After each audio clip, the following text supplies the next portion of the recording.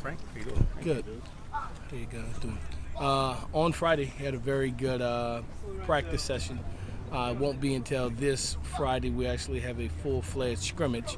Uh, so just a typical format where uh, it was very competitive in, in, in certain situation, in third down situation where the offense got the advantage. Uh, one-on-one situations throughout the field where defensively uh, won the day.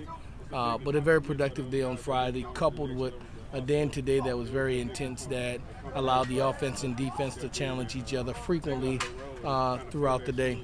I thought our secondary uh, probably got the better of our of our receivers on this day, although I thought they competed very hard. I thought we rushed the ball very well throughout the day. Brenden Brady continues to emerge along with B.J. Daniels, uh, and starting to see some glimpses of what we thought Sincere McCormick would be. Uh, with some big plays today as well from, from a backfield standpoint. Offensive line has been steady. Uh, tight end position, uh, we're very fortunate to have some uh, additions uh, to our tight end position, and it has really blustered. We're probably three to four deep right now. Uh, and that's great in consideration of where we were at the end of last year, still with another to come uh, this summer. Uh, quarterback position has been very competitive. No one has pulled away uh, just yet, uh, but you see uh, you see flashes with with Lowell Narcisse, with Frank Harris, with Cordell Grundy. Um, Sutton's coming along. He's, he's a young guy. He should still be in high school right now, but you like his promise. And JoJo's doing a good job for us as well. But no one has emerged just yet. Uh, they're all equally competing and doing a very satisfactory job, if you will. Is Frank showing all those intangibles and such you, you knew of him before the injury, yeah, coach? You, you know, he, he had this what makes him uh, so dangerous. He was an opportunity today where it was a zone read, and he pulls it and he starts running and signals for the receiver to go, go, and on the run just flicks it over the entire defensive head, defense head for a 70-yard touchdown. But that wasn't even a play design. It's just him being creative and being frank. He's so, is he moving? I mean, because yeah, I he's asked moving well. Moving well. Yeah, he's moving well. There's no indication of him being hindered or will not be 100% uh, throughout. I would probably say he's 85 plus right now, but he's moving well. Is there anything new he's shown you, or anything you've learned about him in these last couple weeks? Uh, you know, we just have never seen it in, in, in totality because the unfortunate situation. So you've always seen just flashes of it.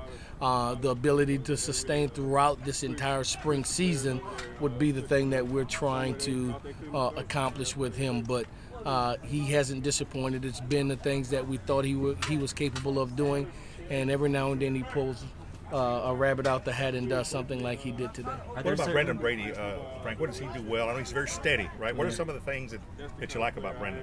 Just overall, first down, second down, third down, uh, protection, passing game, uh, the ability to run in between the tackles, to run on the perimeter, uh, a toughness, a high intellect that can consistently go out and not miss a beat when we're uh, from the backfield area. You mentioned with Frank kind of wanting to set him loose and just see how he plays, but is there any measure of having to make sure he doesn't get re-injured or keep him healthy? I think that's exactly how you get injured. When when when you go into a situation and ask a guy not to go full speed. Now that means uh, he hasn't. We don't hit him. We're conscientious of it. Uh, I control the whistle. We're conscientious of that. But he has to. He has to get his muscle memory back. He has to play to the speed of the game. It's been a long time since he's played in a game. Uh, so for him not to practice full speed to emulate that of a game, uh, I don't know how else uh, to get him prepared to play. So Right. he practices full speed, I'm like sorry. everyone. I'm sorry. But the defense, when you talk about the defensive players, Yeah. what, potentially, you know, what could be the streak? You talk about the front, the front seven, but especially the defensive line. Do you, Yeah. You like, uh, you like what you got coming back on? I do like King Newton, like Bill and Baker, like Jalen Haynes, uh, like Eric and the things those guys doing on the edge. Solomon Wise has been uh, is having an outstanding spring from a pass rush standpoint. Uh, you know, come third down, he he gets his cleat in the dirt.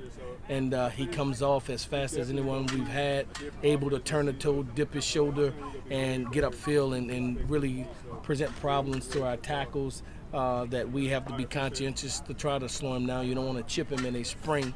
Uh, setting, but we at least got to put somebody there in the presence because he gets to the quarterback really fast. Coach, you have pro day tomorrow. Can Yeah. you just talk about what you expect to see out here on this? Uh, you know, we, we have confirmation right now from about 20 or so NFL teams.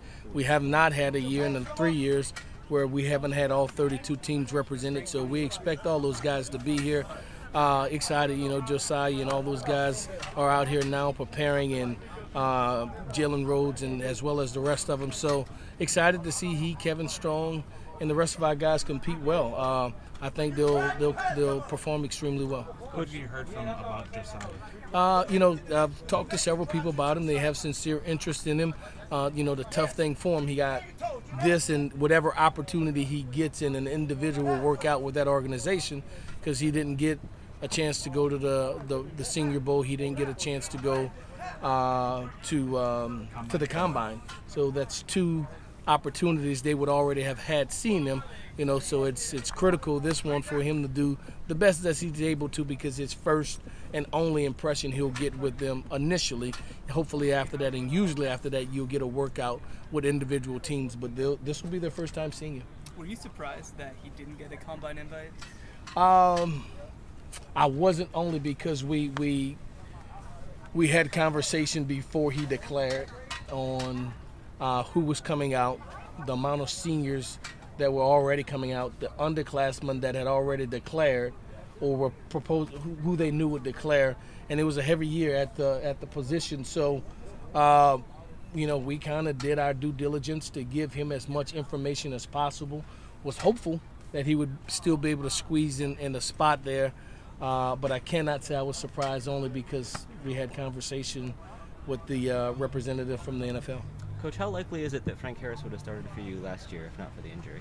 Uh, I thought he was in position before he got injured to compete for the starting position, and probably at that time, uh, arguably in in the lead for the starting position.